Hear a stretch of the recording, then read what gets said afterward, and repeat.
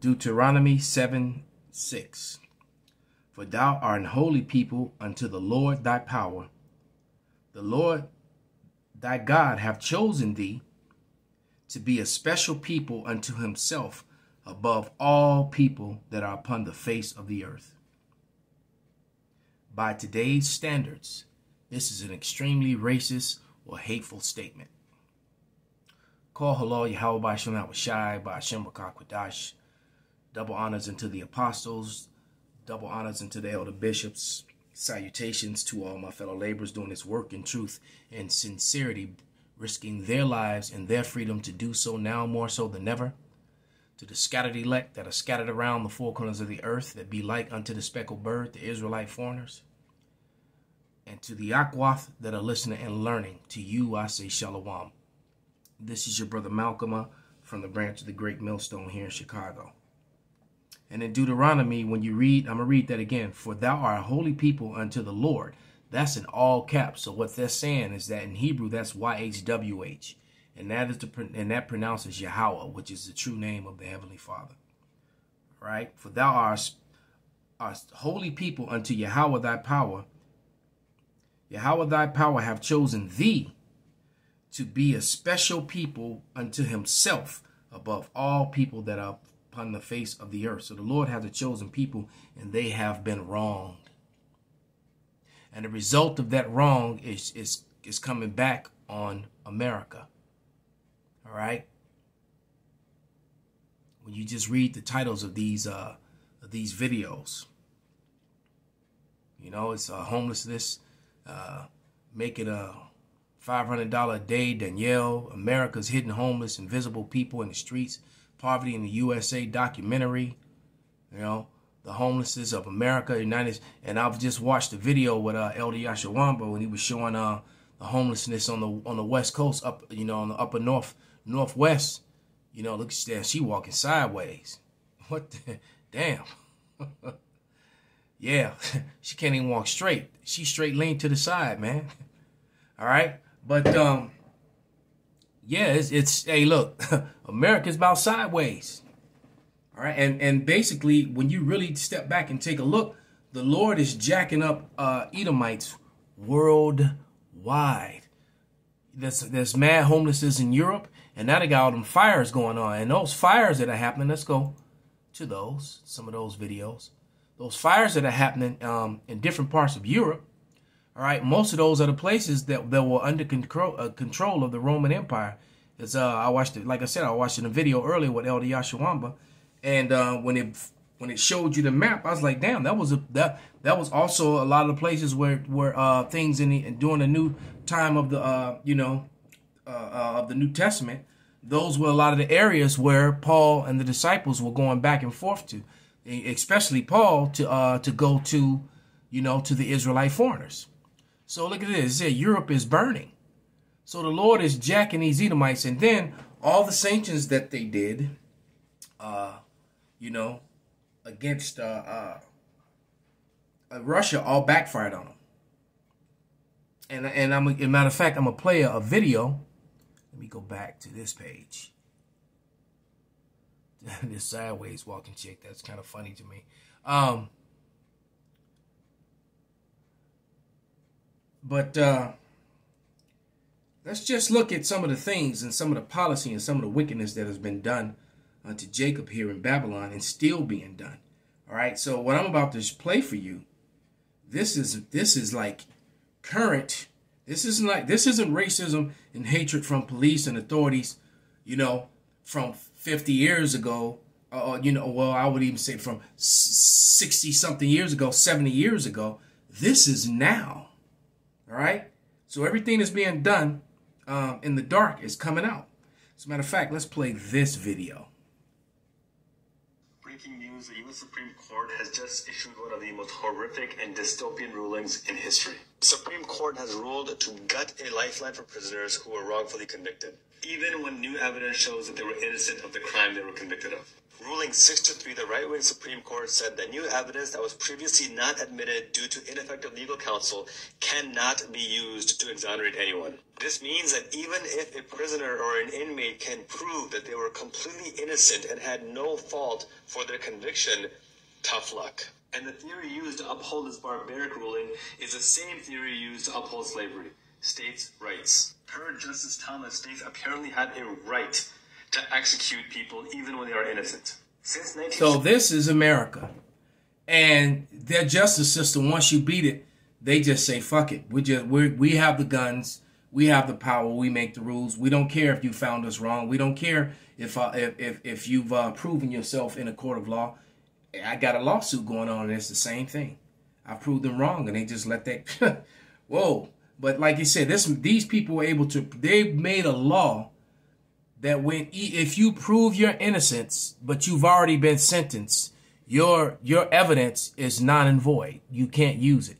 Too bad, so sad. And what because you know what would happen? That would clear out the prison houses, and Israelites are filled in the prison houses. Let's grab that now. I think this is Isaiah 42, 22. I believe. 42, 22. It says, right, and these are the same people that are above, you know, all other people. This is their condition, part of their punishment. But Esau, Edom, you know, they they forwarded it the uh, uh, the punishment. You know, they kept it going when it was supposed to stop. All right, it says, but this Isaiah 42 and 22. But this is a people robbed and spoiled. Now, this is referring to the Israelites, to the to the Jews and the rest of the Israelites. All right, to Judah. All right, but this is a people robbed and spoiled. They are all of them snared in holes. They are hid in prison houses. They are for a prey, and none delivered for a spoil, and none saith restore. If that prophecy is not self fulfilling, especially now with that new ruling, I don't know what is. Because one thing's for sure there's no Finkelsteins, no Steins, no Kleins, no Seinfelds filling the prison houses. All right? You know what? What what, what they're they're the people, the stockholders, and, and that that own stock in the prison houses, and see, and if you uh, uh and, and if these people are able to present uh, evidence to prove that they're innocent, then they you know because every year people are getting out of prison. Every year there's some case on a couple cases, you know, you know, two three uh, cases on TV where some guy gets exonerated, usually a Jake. Every now and then it might be a Edomite but usually a Jake gets exonerated from a, for a crime that uh, um that that he that, that he's been locked up for 20 years or more. 10 15 20 30 years. All right? So they've been collecting money. The the, the private printers, uh, prison owners have been collecting monies off housing him all those years. You know what? They should have to pay that money back. Yeah. So to prevent that from happening they and this is what this man does. We're talking about a people who will revise history, change the meaning of the words, re, uh, replace, put their face someplace where it, where it was was not, even in in a particular time in history, and then teach those lies to the people, and they get angry if someone brings it out or points it out.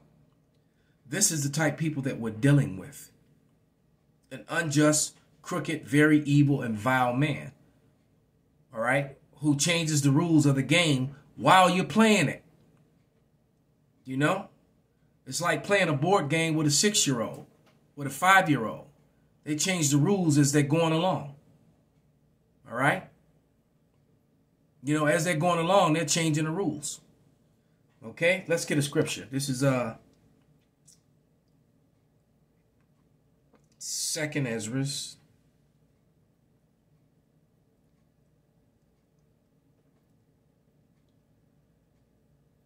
15 and 56. And it reads,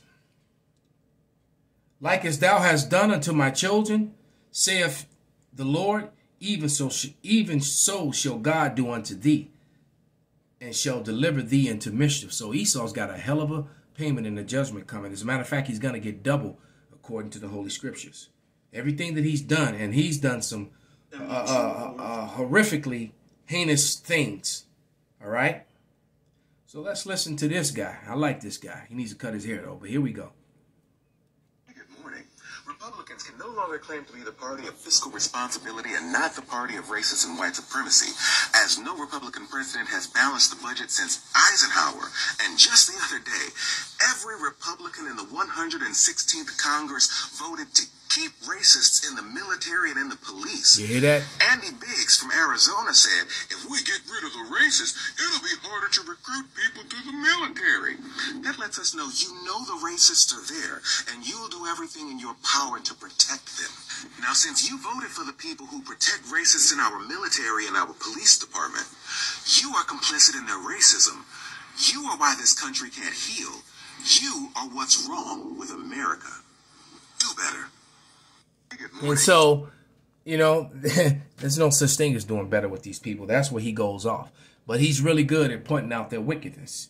All right. And they are completely wicked people. You can't trust in them. See, that's why the scripture says, warn to them that, you know, they go down to Egypt for help, trusting in the shadow of Pharaoh and not trusting in the Lord. And that's this guy's problem.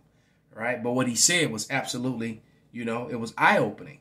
And a matter of fact, let's play another video. Um, where you have this uh, police officer, this chief, you screaming nigger this and nigger that, and if I shoot a nigger and I shot nine, shot nine niggas, I killed nine niggas doing my my uh, uh, uh literally. This is what he says during my time, you know, as a police officer, and and and every one of them was justified. And if you do it under my watch, I'm gonna make sure yours is too. So we keep telling you, man, that, that these people are hate. Hey, a, a guy just got shot a couple days ago in the back nine times unarmed. You know, a white guy goes in, shoots up a school, shoots up a church, shoots up people, gets taken alive. But you know, but a brown man gets shot down. The other guy was that three weeks back, four weeks back, shot 60 times, 90 shots fired, unarmed. You know? Not to mention all that stuff going back with Mike Brown and Trayvon Martin and the, you know, and all that, that whole era. It's just nonstop. But without any further ado, let's listen to this devil, to this wicked individual, you know, son of perdition here. Let's slide on Mississippi police chief said he shot that N word 119 times. Said that if you kill an MFer in cold blood, I will cover it up for you. Yep. And a lot of other things. I have the audio. Here's that police chief now. Let me say something. Come on. You're going to get in some in the street. There's only going to be one man fighting for you. All right? Yeah. That's going to be me. Okay? Don't ever ruin that. All right? Because these other they're least right. Okay? I killed 13 men in my career. 13. Okay? Justified.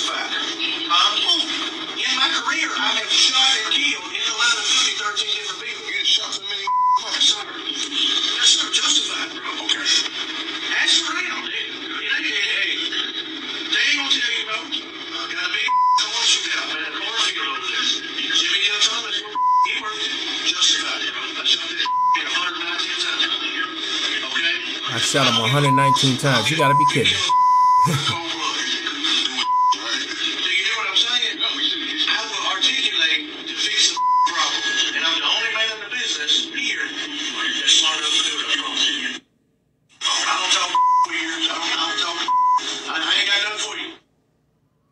Put up this racist SOB mass here.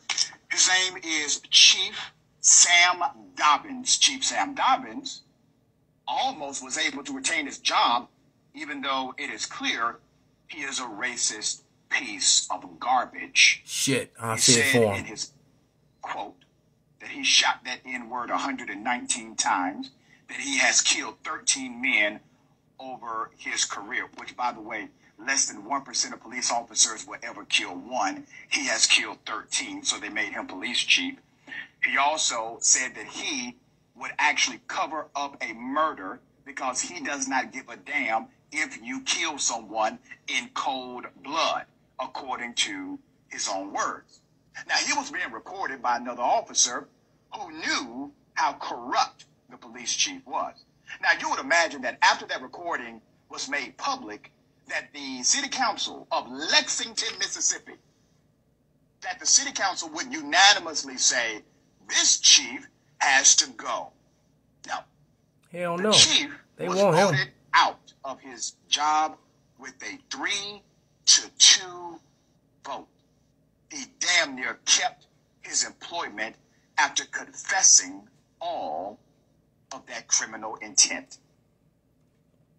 So there is no no justice and no peace for you ever here. These people hate you.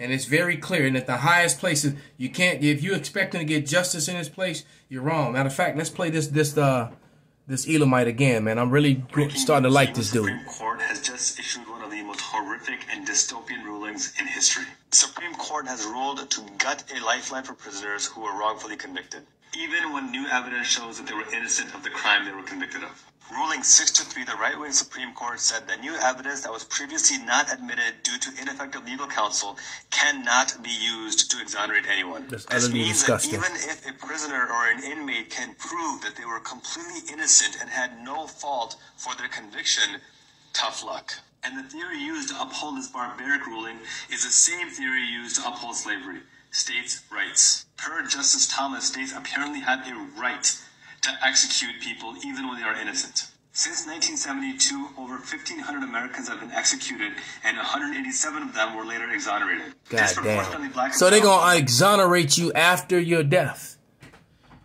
And, and and you best believe the majority of those people were Israelites. Almost every one of them. All right, let's uh let's grab a couple more scriptures and, and shut this down. Cause this is it's some it's some payment coming to your red asses. Cause you're not white. All right.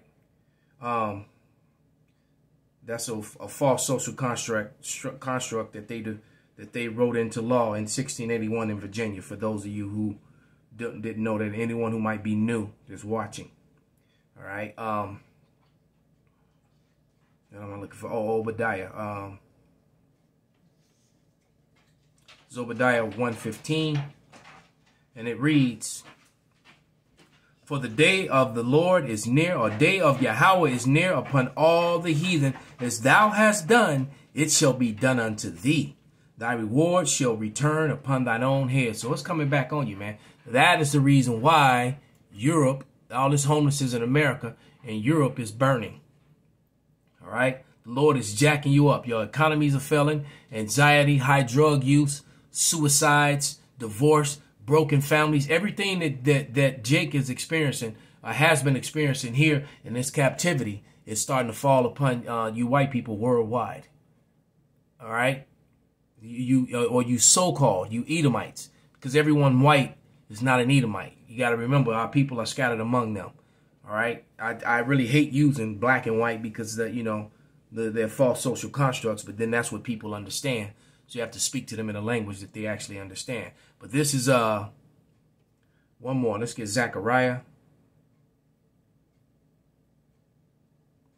Two and eight. And it reads, For thus saith Yahweh of hosts, after the glory hath he sent me unto the nations which spoiled you. For he that toucheth you touches the apple of his eye. So they touch the apple of the Lord eye when they put their hands on us. And the Lord is gonna straight, you know, fuck them up for doing so. And he's and he's and it's happening. All right. So with that, I'm gonna give all praises, all honor and glory unto Yahweh by Hashem, the Abishai, by Hashem Rakakwadash, Wa Abba Babal, Kwam Yasharala, Shalom.